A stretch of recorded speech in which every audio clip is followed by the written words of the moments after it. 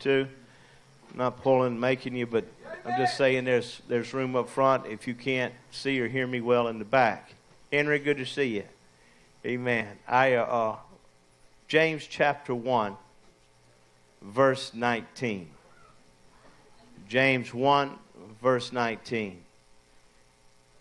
At times when we read the Word of God, we, we'll pick up on, like the book of James, there's a little bit of an argument. Tom, you trying to get a head start on me? All right, that's good. You're learning. You stay standing. No, you're doing good. I've, you found it. That's good. That's even better. You don't know how many people stand up that are just faking with their Bibles open. Eh? they never find it, you know. They, they don't know where it's at. Some, some don't know if it was uh, James, the disciple, who died in around 44 AD, or was it James, the brother of Jesus, wrote James, who died around 62, 63 AD? Both died deaths of martyrdom. The whole issue of James, though, is simple. This one little simple fact that I understand, and that's that if you hang out with Jesus, the one thing that you should do is talk less, listen more, and calm down. I told you I'm preaching to me. Talk less, listen more, calm down. Now, as a kid, I would hear the phrase, we need more TLC. Of course, that was tender love and care. Don't fall for that. That ain't what we need more of. What we need more of is talking less, listening more, and calm down. As we hit this political season, talk less, listen more, calm down. As we get closer to the end times of the coming of Christ and things are all screwed up, talk less, listen more, calm down. Somebody say, You're preaching to yourself, Pastor. Because y'all don't need any of this. Your kids don't need it. The know it alls you work with don't need it. The one who's calling right now on the phone don't need it. Talk less. Listen. Everybody needs a little TLC. Shall you hear it? Talk less. Calm. Oh, there it is. Listen more. Calm down. Are you comfortable?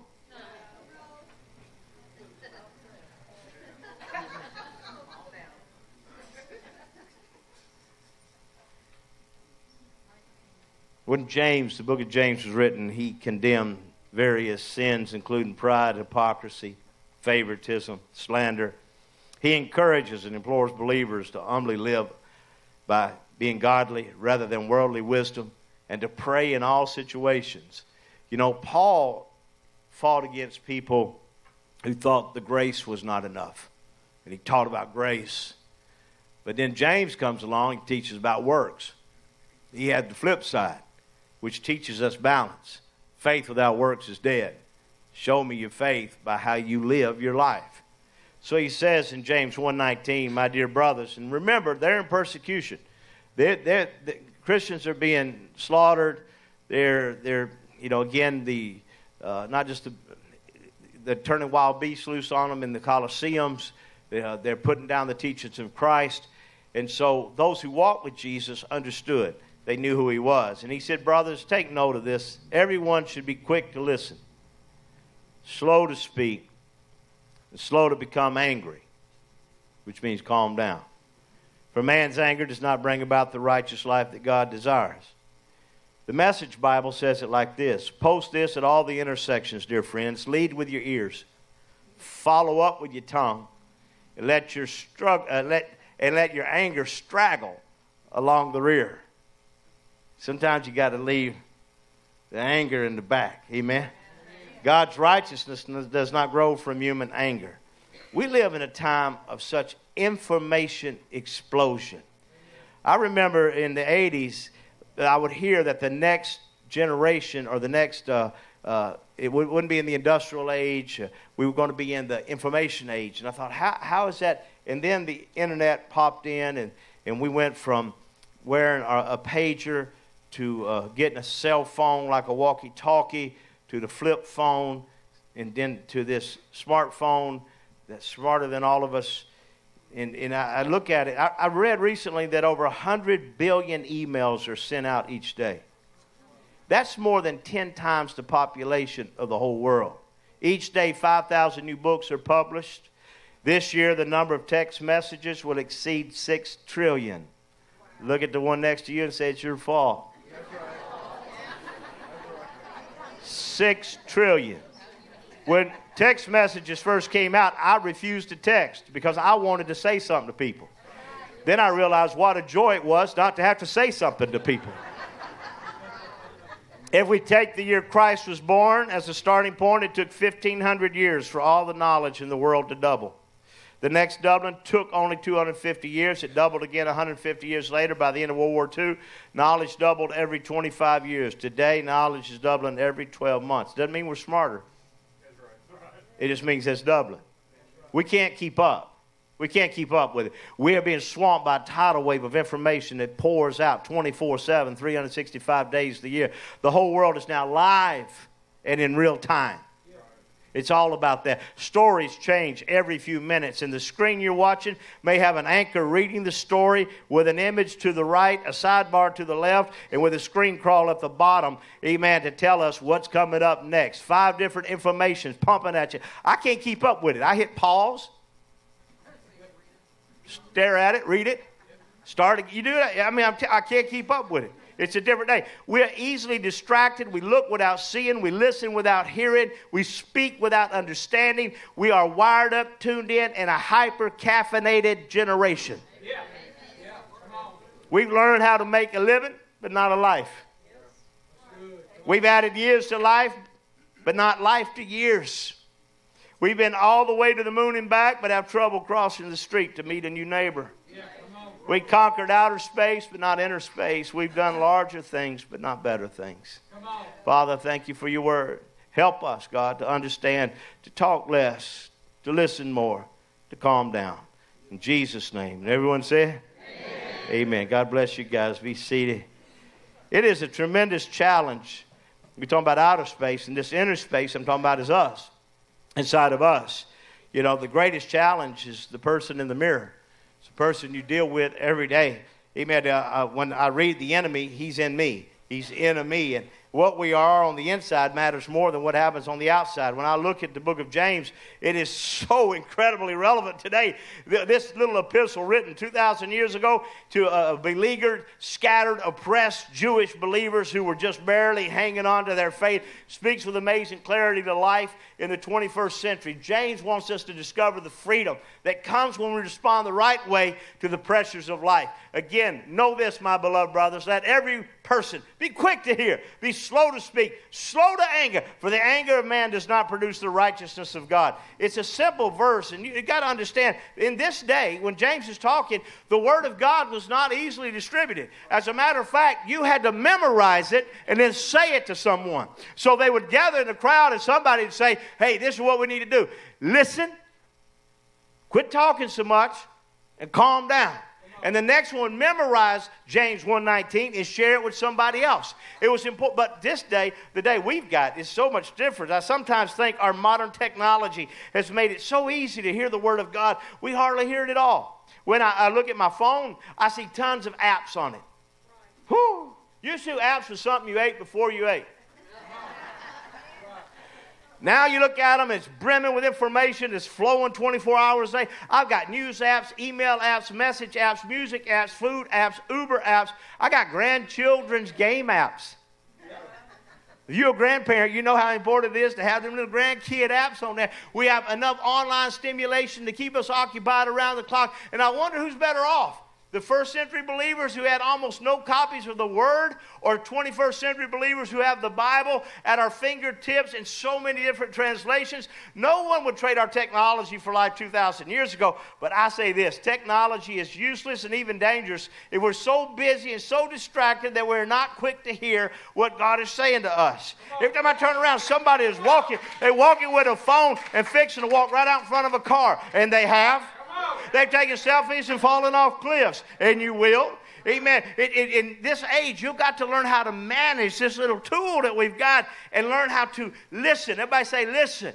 Amen. So, first, we, we got to talk less. Talk less. Some people talk so much they never hear what everybody else is saying.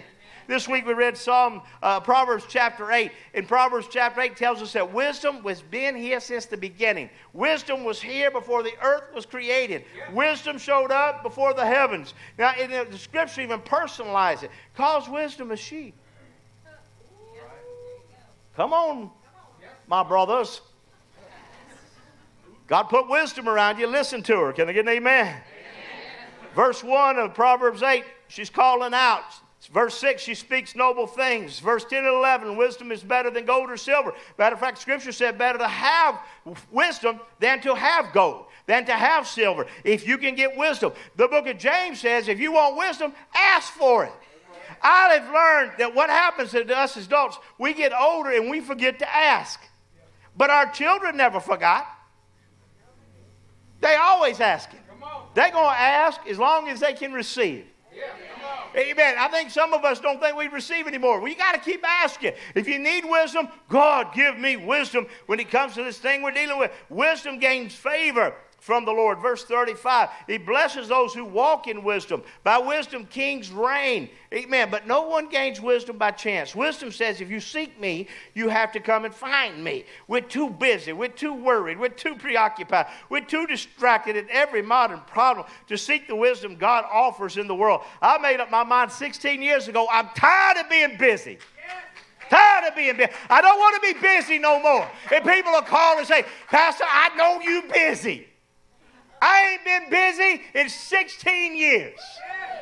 I know. I'm very effective.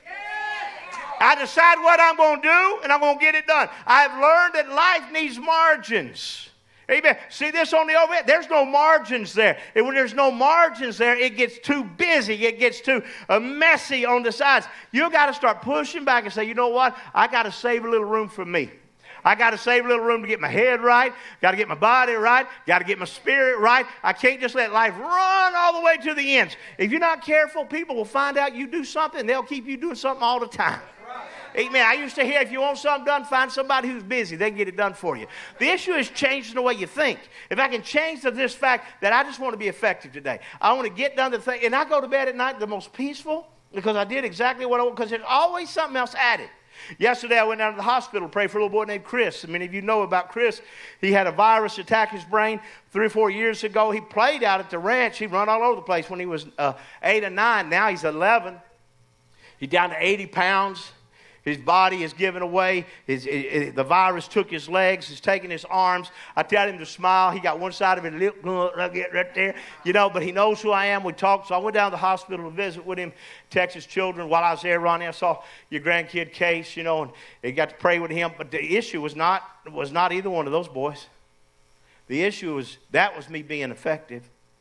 But watch this. When I turned to walk away, I got a nudge from somebody, uh, Reese, and and, uh, and Katie said, Hey, look back there. And I turned around, and, and there was a, a lady who has crying. And she watched me pray over Case. And as she sees me praying over Case, I know my mistake, Angie. I caught it. Amen. And, and, and as she's praying over Case, y'all don't think I do, I do. Uh, as, I prayed on, as I'm praying over Case, she saw it. She didn't have a preacher, she didn't have anyone. And she said, Would you pray over my daughter? I walked over, here's this little 11 year old Janelle, gorgeous girl, having some type of stomach issues. They're going to have surgery. She's scared as she can be. And, I, and me and Richard, and who, was, who else was it? Uh, Jill was with me. We, we bent over the bed and began to pray for her. And I thought, and as I was walking away, I told Richard, I said, This is why we came you know, I wanted to come see these two little boys, but but this and here kind of entered in. See, that that's leaving yourself some margin. That's leaving yourself some space because you never know what else is going to pop in in life. And so James is telling us here in life, where as you move through it, you got to learn how to talk less. Everybody say, talk less. Amen. Be slow to speak. Ecclesiastes 5 2. So we got to listen up. We got to talk less. God is in heaven and you are on earth. Therefore, lift, let your words be few. Ecclesiastes 5 2. It's hard to argue with that. See, what I found in life is, is we're not as smart as we think we are. We're not as clever as we think we are, and we're not as wise as we think we are. That's why the scripture tells us to keep asking. There's a time to speak, and there's a time to be silent. Most of us are better at the former than not so good at the latter. Proverbs 29 20 says, Do you see a man who speaks in haste? There is more hope for a fool than for him. Let me give you a little info here. To keep your marriage brimming with love in the loving cup, whenever you're wrong, admit it. Whenever you're right, shut up. Will that work? Just a little help there. Most time folk right, they won't shut up about it. It's because they finally got one right. It's so easy to kill a marriage or friendship with unkind words. How many times have we said something in anger only to regret it a thousand times later? You have to pause to make an application that I would not have made um, probably 25 years ago, but social media encourages such quick feedback. If you don't text me back quickly, I think you're mad at me. I got to hear back from you. Remember the day before. Some of you will remember the day. Some of you even date back. I, I, I saw where guy, one guy, uh, one little granddaughter posted. She said, "Grandpa, you're older than the internet." Bo, there's a bunch of us in here older than the internet. Amen. We were around long, but, but, our grandkids don't pick up on that. They don't see that. They think it's always been around. Someone says something we don't like, so without thinking, we post a snappy reply, a snarky comment, a clever comeback, or a mean spirited innuendo. Sometimes we are so eager to post our comments that we hit sin and then start chuckling over our cleverness. Not to think about that that was not real smart, or it didn't turn out the way I thought I, I didn't say it the way I thought I was going to say it. I, I can tell you that this, this guy, you know, he, he committed suicide up in a jail. And, and, while he was in the jail committing suicide, I saw somebody post about it and said, Hey, it's okay. The FBI and CIA is going to investigate it. You know they'll get it right. And I saw where somebody commented below that, and, and, and, this dear friend of mine, she said, Well, you know, the CIA, uh, they, they assassinated the, the Kennedys. Now I'm looking at this, and this is a very bright person that wrote this. Now I'm thinking, I better look this word up because I've been a lot of things in life, but I've never been assassinated in my life that I know of.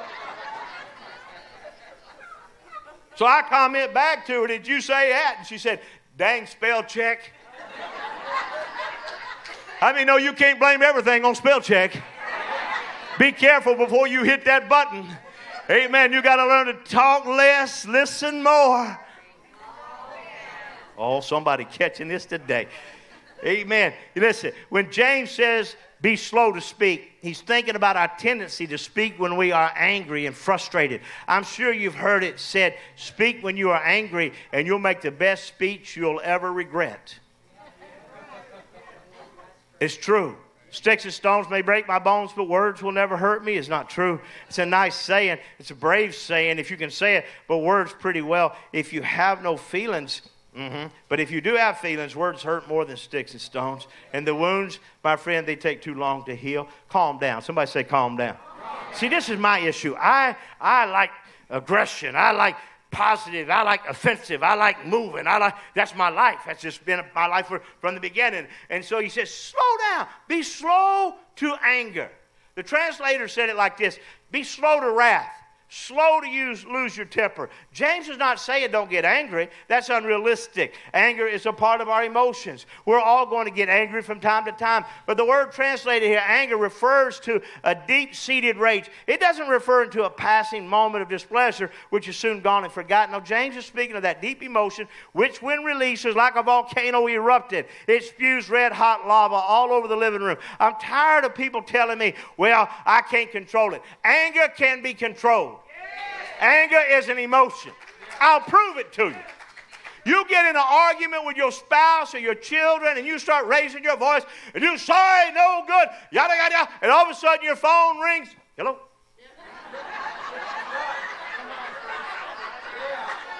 Yeah. Hey, hey, hey. How you doing? Oh, man, we good around here. All things are rocking? Yeah, oh, yeah. Thanks, fine. Uh-huh. Well, man, I'll pray about that. Oh, I'll, I'll agree with you in Jesus' name. All that take. Uh huh. All right. Okay, bye bye. Now listen, where was I? You started no good out there. I promise you right now, I'm going to dig a mud hole in you so deep. Anger can be controlled. It's an emotion. The scripture says, Be angry, sin not. Don't let the sun go down on your wrath. It's okay to get a little upset. But after a little bit here, you got to calm mm-hmm. Notice the progression. If you're quick to hear, you'll be slow to speak. But if you're slow to hear, we will doubtless be quick to speak. Quick speaking leads to quick anger. The anger we get, the angrier we get, the faster we speak, the less we hear. You, you won't even slow down. Take a breath. Try to prove your point. You got these two little outfits over in Portland arguing with each other. Nobody wins. Sometimes you've got to talk less, listen more, calm down. Proverbs 16:32 says, "Whoever is slow to anger is better than the mighty, and he who rules his spirit than he who takes a city." Solomon is saying here, slow to anger is better than the mighty. You, will take a city if you can learn to do this. Solomon is saying for us to control your temper. Amen. We use that military imagery all the time in our, our Christian circles. We talk about taking our cities for Jesus, winning America back to God. That sort of talk, you know, if you're not careful, I took my city for God, but my children no longer follow Jesus. Hmm. I want my kids to follow Christ. James 1:20, for the anger of man does not produce the righteousness of God. One version says it like this: If you're angry, you cannot do any of the good things that God wants done. You ever know a person who's angry all the time? They get up angry, they shower angry, they, they eat angry, they go to work angry, they come home angry, they watch TV angry, they go to bed angry. When they're happy, that makes them angry. Nothing pleases a person like that. It's like the guy with the old dog laid outside, and every time he walked by the old dog, the dog was growling, just growling. He said, Why does your dog growl? He said, He's laying on a cuckleburr. He says, Well, why don't, why don't you reach in there and take it away? He said, Every time I try, he growls. He would rather lay on a cuckleburr. A lot of people are that way. They know what it is agitating them, but they don't want to remove it because it gives them attention. That sort of anger can never produce life pleasing to God. That sort of anger only destroys, it never builds up. Jesus, you know, Jesus didn't come to make us nicer people. He didn't do it. He came to make us new people. He, he came to make us alive people. Amen. He come to set us free. You know, I, I should try harder to listen more, speak less, calm down. That's good, but it misses the point here. We need Jesus living in us. I remind myself, it's Christ in me, the hope of glory. And when you got Christ in you and you got Jesus around you, you need to talk less. Oh, it's so hard. It's so hard. I, am so frustrated, with, and I love this nation. I love our kids. But as we move toward this, all this political things, I, I, I'm very, I just want to post biblical things, but I do know this much eventually I'm going to say something. Eventually, I'm going to protest something. Eventually, I'm going to say that's wrong. I, I have uh, some friends that just opened a barbecue joint in St. Louis. Oh, yeah. Built a new building called The Beast. Tremendous barbecue. In so doing, the powers that be came in and said, You can't have a he, a male, and a female bathroom. It's got to all be gender friendly. Now I'm thinking, okay, California, but now we in St. Louis, Missouri. So this thing is sweeping across. He said, excuse me. And he said, yeah, you got, so he had to build this, this, this room where you go in and wash your hands and then these cubicles where anyone that wants to go in it can. So if, if she feels like a he that day, she can go in that bathroom. Let me just help you just a little bit. We need men's bathrooms and women's bathrooms. Now, well, hold Hey, well, yes. The reason why, ladies, then women won't come in the men's bathroom. Listen, we pee on the lid.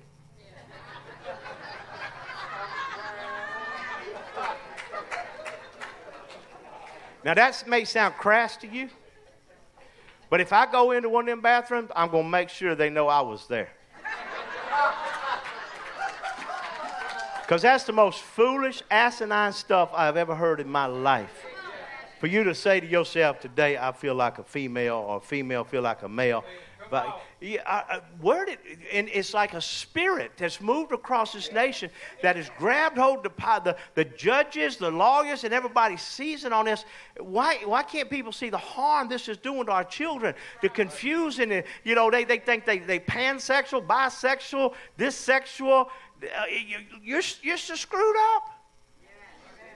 And then our kids are getting this poured onto them. And I know some of you as parents, you got kids that are struggling with this. I know that. And I know I'm, I'm, I'm, making light of a serious situation. But the bottom line is, how, how do we, we got to break this thing. And so here I get all beat up. And the Word of God said, calm down. Calm down. It's like Jesus is telling me, we are in the last days. This is going to happen. I want to rescue our kids. I want to see them. And, and, and again, parents, you still love them. My kids have done some of this. Sometimes they'll come to me and say, Dad, do you really want to know? I'll be like my mom and find out later when you get born again. I don't, I don't want to hear it right now. I don't hear it. I don't hear it. Amen. But, but they do. And so, as a parent, as a believer, as a pastor, I got to talk less. Now, I know talking's my business, is what I do. So I got to talk right to If peeing bothered you a while ago, I could have been worse. I know I'm probably going to lose viewers. Hmm. No, they won't. I won't. I won't lose viewers. I'll get more. It happens that way when you're honest. Uh, talk less. Listen more. When we were with Sister Ann last week, I didn't want to talk. I wanted to listen. When I, I went and visited Janie after that, a couple of us, David and Richard, and we went to visit Miss Janie. I just want to listen. Brother Haley was alive. I just wanted to listen. There are some people in here that have been through some wars if you're younger than them, particularly, listen. Listen. Amen. They'll help you through life. I know you feel like you know it all, but there'll come a time in life when you'll realize how dumb you are. And you wish you listened. Not only that, one day they'll be off the scene. And you'll never get a chance to hear their voice again. Listen now. Stand with me if you would. So, in your anger, when you get mad, According to the book of Ephesians, do not let the sun go down while you're still angry. Husband and wife, it's good practice. I know sometimes it's hard to do. I often will use this phrase biblically, if, it's, if it can be done biblically, the truth of the matter is sometimes that's hard. So the word tells you don't, don't let it because it will. It'll go down and it'll fester inside of you. And anger that's not dealt with properly turns to bitterness, bitterness to hatred. So be careful with this. If, you, if you're mad at me, deal with it. If I'm mad at you, I'm going to deal with it. I have to deal with it. Do not give the devil a foothold because he uses anger, he uses unforgiveness. Amen. He uses bitterness. He'll get hold of you. A foothold means like you put your foot in a trap. You can be going along, be the sweetest person in the world, and somebody say something to you, park next to you, or wave at you wrong. And all of a sudden they got a foothold. You mad, you upset. Good decisions determine success. And you make good decisions by having experience. You get experience from bad decisions. I've learned a lot of ways not to do something. Thomas Edison, he had something to do with a light bulb. The ability to learn from your mistakes will ensure you don't repeat them. When you're living for Jesus and Jesus is living within you, then by God's grace, we will be able to talk less, listen more, calm down. What does this church need? TLC. We need more. Amen. Keep spreading it out. A little bit more heads bowed, eyes closed for a moment. I want to ask God to give you understanding and revelation. I want all of us to get understanding and revelation. I want our minds opened up. Jesus said, if you need wisdom, ask for it. Said it through the book of James, the man James. You need wisdom. Listen, if you're struggling financially, you need wisdom. If you're struggling with relationships, you need wisdom. If you're struggling with your health, you need wisdom. Amen. We need wisdom. If you need wisdom, you're honest about it, throw both hands in the air. Pray with me. Lord Jesus, I'm asking for wisdom in my finances, my finances, in my relationships, my relationships, with my health, with my health, my spiritual walk, my spiritual walk, who I hang out with. who I hang out with. God, give me wisdom. God, give me wisdom. When it comes to training when it comes to training my children and grandchildren, grandchildren, give me wisdom. Give me wisdom. I'm tired of fighting. I'm tired of arguing. Tired of arguing. Give me wisdom. Help me talk Help me less. talk less. Listen more. Calm down. Calm down. In Jesus' In. Jesus' name. Amen.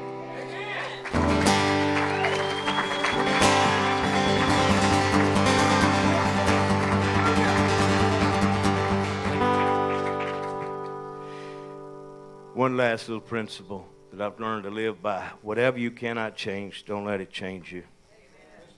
Sometimes I feel like I can't change my kids. I'm not going to let my kids change me. Sometimes I feel like there's certain friends of mine I can't change. I can't let them change me. There are things about this. I know that there are things that I can change, so I work on that. But when I can't change, what happens if politics switches? Yeah. I tell my pastor this morning, do here in Texas, I'll just be straight up with you. Don't touch our guns. It's just I understand, but I'm going to agree with our president. It's it's a mental issue. It's it's it's I'll go past that. It's a spiritual issue. Yeah. He can't say that. I can. It's a spiritual issue. We got people whose minds are so twisted, perverted, and demon possessed or oppressed that they, whether it be a gun, an F 150, or, or, a- or a knife, they're going to harm somebody. Yeah. I want to be the guy at Walmart with a gun to stop a guy with a gun. But on the flip side, calm down. All it takes is one good shot. You don't have to come out there with a submachine gun. You'll hurt somebody. Learn to shoot your 38 well. You're 22 or you're 45. Just learn how to shoot well. And if you don't have one, just to be honest, duck. Just duck. People ask me all the time, Pastor, is it, you good with me carrying a gun? Well, you got uh, CHL. You know how to use it. But don't don't let people see it. Yeah. Dumbest thing in the world is for somebody to know you got a gun. That's just common sense. If I see you with a gun, I know you're the one I'm gonna come after first. You bet sucker he is. Yeah. Respect it. Be seated. Servant leaders are coming up. David will be coming up, but I got to make a few observations for you. Starting the month of September, we're going to have first week, midweek. Every first week, we'll have midweek. After that, there will be kingdom connections for you. The kingdom connections, of course, are going to be for the, the, the, the ladies. Already, today after service, there's a ladies' connection meeting. Uh, Sister Diane, we're going to show a little video about your upcoming retreat, which would be a ladies' connection, a kingdom connection. We're going to have a roundtable meeting in the month of September at Stephen Burgess's. I'm going to invite all the men going to the roundtable meeting to bring your shotgun. Why go to Stephen Burgess's house if you don't have a shotgun? He owns the finest skeet range in Texas. Amen. So we'll eat, we'll pray, we'll fellowship, we'll shoot something. That's the round table. So these meetings will be taking place. Speed is going to get together, Dennis, with, with uh, the, the out, uh, the misfits, the off-road misfits. I want to call them the mutters. Who said, but uh, those that are four-wheel drive going to get together, going to have a meeting, and they're going to have teaching time and fellowship time. So this uh, Marie's going to have a, a special spark meeting next month, and so within those three weeks, so the first week, midweek, we want you here. Then outside of that, those kingdom connections, we're going to tell you where we're going to be meeting There'll be sign up so that the leaders know to get hold of you. We want you to connect. This is, uh, you know, I love coming to church, but we're not connecting with everybody. So we got to connect out of this church with people and invite people to come to the connection. Amen. If you need to offer an envelope, if you're giving by phone, wave your phone at them. Say, no, you're giving and not punking them. Everybody here that considers himself a partner and a member here, be a tither, be a giver. Amen.